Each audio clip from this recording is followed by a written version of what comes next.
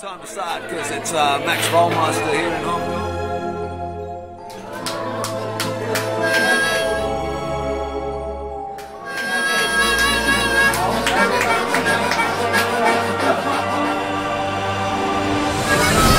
So, no, no.